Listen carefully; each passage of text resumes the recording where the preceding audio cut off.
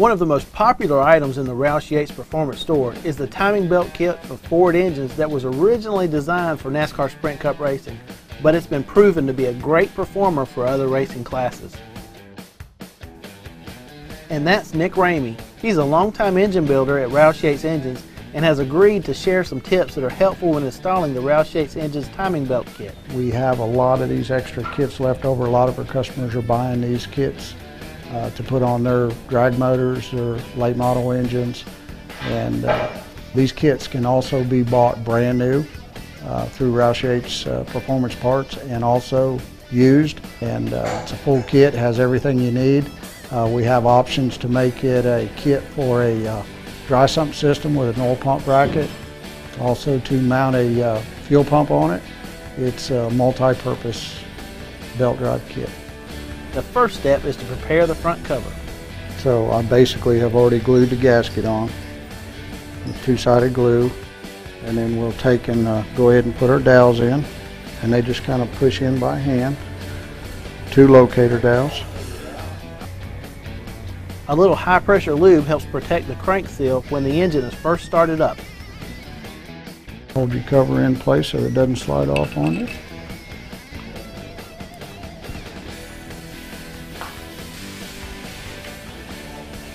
There's even a bracket for a traditional fuel pump. If you're running either an electric or a cable-driven pump that mounts elsewhere, you can omit this step. And once the front cover is in place, you can torque the bolts to 25 foot-pounds. The kit also includes two socket head bolts that are required at the top of the cover. 18 pounds. It's 5 16 bolt. You have to run a 5 16 Allen with a uh, uh, flat washer and a lock washer to clear the cover. So you cannot use a standard hex head bolt on the top here. It needs to be an Allen. And they'll be in the kit. Now we're ready for the cam seal retainer. It too needs a little lubricant to protect the seal.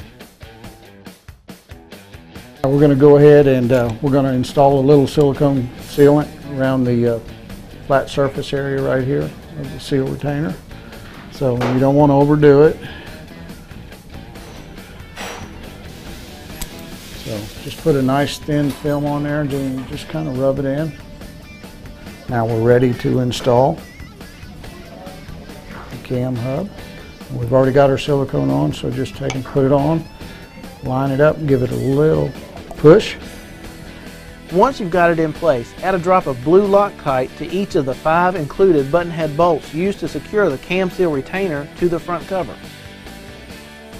The next step is to install the camshaft hub, and one of the greatest features of this kit is it eliminates the tedious process of installing shims.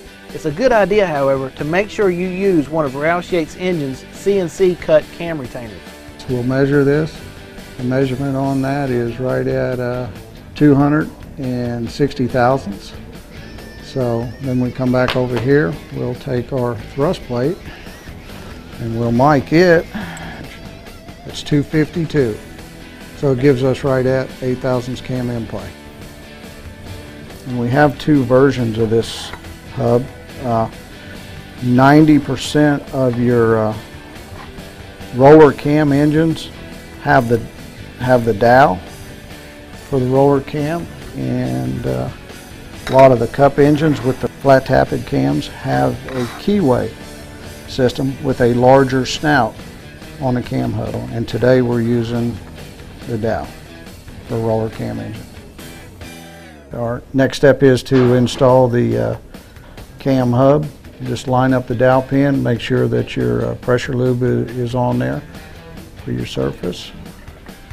And then just kind of push it in and it should go in and all the way into the seal. The fuel pump eccentric is next, and to ensure a good seal, you can add a small dab of silicone just around the chamfer right there. So we'll rotate that till we actually feel the eccentric slide into the dowel pin. Okay. Once the eccentric is properly seated, Ramey threads in the camshaft bolt. And snug this right now. And then we're going to come back and torque that here in just a minute as soon as we get our belt on. That way it'll hold everything in place and we are going to torque this bolt to 70 foot-pounds and install it. turn it a little bit as you push it so that it'll go into the seal. As we push it back, and that makes sure that the uh, lower gear went into the seal area okay. Pull it back out, pop it back, feels good. Go ahead and install is what we'll do next. Is our dowel pin is lo located right in the middle of this hub right here. You can't see it, but the dowel is located right there. So you're going to line up dowel to crankshaft key.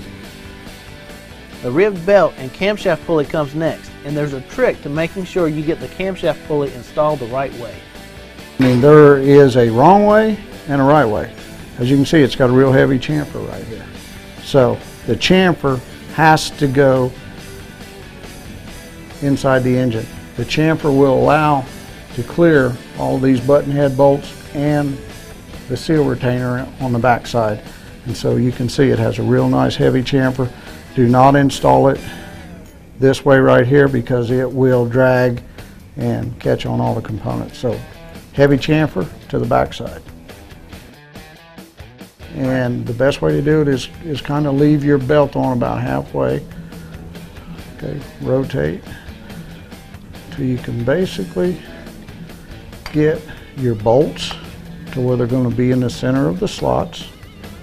Okay, push it back. And then once we get it on all the way, we're going to rotate it. All right, we're going to go ahead and uh, snug up our uh, timing gear bolts. Just kind of trying to run them all around.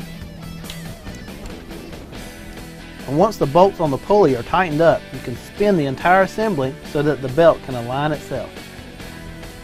And your belt has followed the uh, gear all the way out. One of the unique features of the uh, belt drive on the uh, Roush Yates belt drive system is that the design of the uh, belt and the design of the, uh, the gears that it is in a way a self-cleaning and it will not allow a lot of debris to fill up in the bottom of the teeth and uh, it, it features a, a way of cleaning itself and spitting the debris out. Then the next step is to install the idler pulley. There's a correct way. As you can see on the inside you have a snap ring. The snap ring needs to go toward the block. And the reason for that is if you were to put the washer on this way and the nut on this way, the washer would actually catch the snap ring and lock up the idler. So you do not want that. So the snap ring has to go on first. Give it a little pop. And the washer goes on.